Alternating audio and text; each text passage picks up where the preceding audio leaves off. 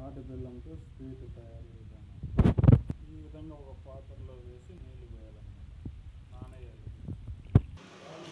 ఇప్పుడు సగ్గు బియ్యంని ఇందులో నానేయాలి. ఒకసారి కడగాలి ఇది బాగా.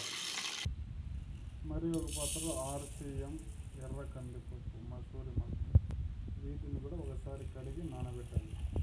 ఇప్పుడు తగినన్ని వాటర్ ఒక స్టీల్ పాత్రలోకి. ఈ విధంగా హై ఫ్లేమ్లో పెట్టాలి. ఇవి కూడా బాగా నాన్నాయి కందిపప్పు. వేడైన నీళ్ళలో వేస్తాం.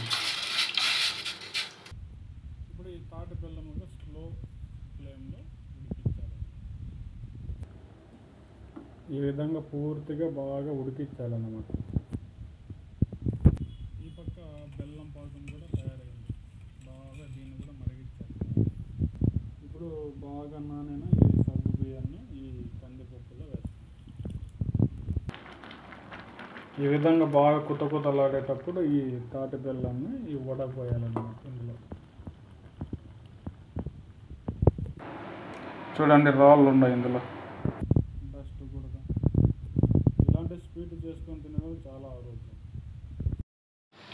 తాటి బెల్లము ఆర్సిఎం ధ్రువం. మ మసూరి మలక అంటే ఎర్ర కందిపప్పు తర్వాత సగ్గు బియ్యం. ఇది తేలుతానే చూడు ముత్తేల్లాగా సగ్గు బియ్యం. వీటితో స్వీట్ అనమాట ఇది. తాటి బెల్లంతో స్వీట్ తయారు చేసుకుని తినడం చాలా ఆరోగ్యకరం. మీకు షుగర్ హెల్త్ అయితే ఏమన్నా అనారోగ్యం ఉన్నా కూడా షుగర్కి బదులు బెల్లానికి బదులు ఈ తాటి బెల్లం ఉపయోగించినారంటే చాలా ఆరోగ్యం అన్నమాట.